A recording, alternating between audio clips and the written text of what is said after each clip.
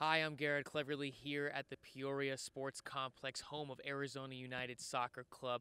The club just came off a 1 1 draw against the LA Galaxy 2 on Friday night. Paolo DelPiccolo with the match equalizer late in the game to put Arizona United Soccer Club on a two match unbeaten streak. We had a chance to talk to the players and the coach about last week's result.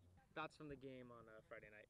Yeah, it was good. Another step in the right direction. Um, they didn't come out as strong as we thought we would, um, but they responded really well in, at halftime. Second half was good. Probably one of our more complete performances on both sides of the ball, and hopefully we can just translate that into Saturday. The game went well. We would obviously like three points, but LA Galaxy is a great team.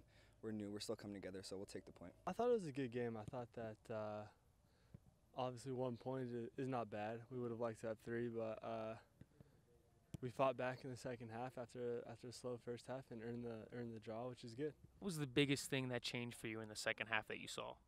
Attitude um, and a willingness to want to work together.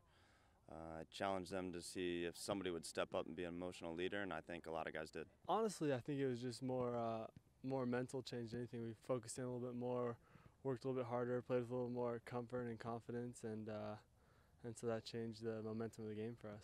As far as for the goal, Paolo's goal, what did you see out of that?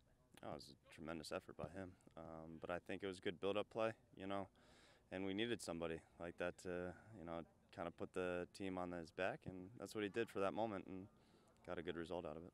You scored your first professional goal in the game. Walk us through that. Yeah, uh, yeah, it was pretty fun. Uh, it's just a good play. Uh, started with a good uh, distri- distribution from Evan, worked down the left side. Okafor made a good run, and then Brandon gave me a great ball and uh, just cut it back and found the far post. So it was good. You just joined the team, first start. You know, wh- how do you think you did? I was really excited. Um, I played okay. Could have been better, but at the end of the day, we got the point and came back from going down a goal. So that's good. And with the draw, Arizona United Soccer Club is on a two match unbeaten streak. They will look to extend that this weekend when they play host to the Charlotte Eagles on Saturday at 7 p.m. here at the Peoria Sports Complex.